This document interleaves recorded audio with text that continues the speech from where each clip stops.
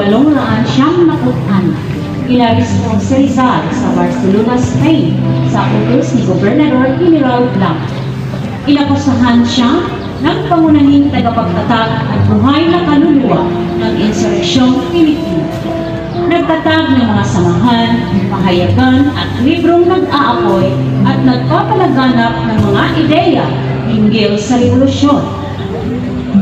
Noong ikadalawampu ng Nobyembre, sang libo walong raan siyam naput-ani, sinimulan ang limang araw na paglilitis sa kaso ni Dr. Serza.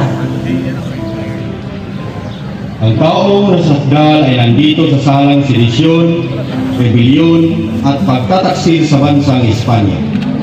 Ano ang pangalan ng nasakdal? Jose Protasio Rizal Mercado y Alonso Rialonda. Tinatawagan ko sa hukumang ito si Atty. Alcocer na tumayo sa harapan upang ibigay ang kanyang panig. Gracias! Ang nasasakdal ay nandito sa salang rebelyon, silisyon, at pagtataksil sa bayan. Wala siyang mulo. Isa siyang taksil at dapat na siyang ipapatay. Gracias, Atty. Alcocer. Ngayon naman ating pakinggan ang panig ng depensa. Aking tinatawagan sa hukumang ito si Teniente Andrade upang depensahan ang kanyang panig. Walang kasalanan ang taong nasasakdal.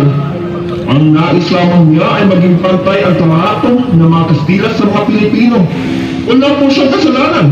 At puro pangatang lamang ang binabato sa kanya. Ngayon naman ay ating pakinggan ang panig ng nasakdal sa hukumang ito. Wala po akong kasalanan. Hindi totoo ang mga paratang nilalaban sa akin. Wala akong kinalaman sa mga pag-aaklas at hindi ko rin alam na ginamit nila ang aking pangalan sa kanilang mga gawain. Walang konkretong ebidensya ang prosekusyon. Gracias. Maaari nang ibalik ang nasasakdal sa kanyang kulungan.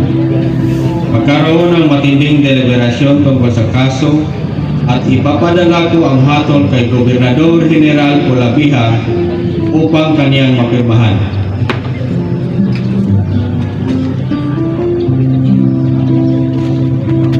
Pagkatapos ng paglilitis, pinatulan ng kamatayan si Dr. Jose Rizal na pinirmahan ni Gobernador General Camelo de Polavieja. Magandang araw, mahal na gobernador. Narito na po ang hatol sa kaso ni Dr. Jose Rizal. Magaling! Tama lang ang hatol ng korte sa kanya. Pirmahan ko na ang hatol na kamatayan para sa kanya. At sa korte, binasa ang hatol ni Dr. Jose Rizal. Ngayon, ay babasahin ko sa inyo ang naging hatol ng korte. Ang nasasakdal na si Jose Rizal hinahatulan ng kamatayan na pinirmahan ni Gobernador General Camelo de Polavieja. Ito ay magaganap sa alas 7 ng umaga.